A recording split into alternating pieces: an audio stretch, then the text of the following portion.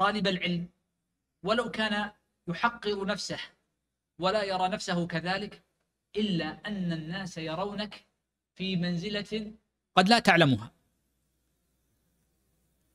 فيجب على المرء أن يصون العلم الذي يظنه الناس عنده. وحينئذ وخاصة في مواسم الاجتماع كالحج والعمرة فيجب عليه حينئذ أن يتقي الله عز وجل. وليعلم أن الناس علم أو لم يعلم هم مقتدون به. فحينئذ يحرص على أن يأتي ليس بالواجبات فحسب بل وعلى أن يأتي بالسنن. فكم من عالم من المتأخرين لا أقول المتقدمين لما حج كان كثير من مصاحبيه في الحج يقتدون به في اجتهاده في العبادة وفي الطلب والتضرع إلى الله عز وجل. ولذا فإن يسر الله لك حجا وكنت منسوبا للعلم والطاعة فاعلم أن عليك من المؤنة ما ليس على غيرك.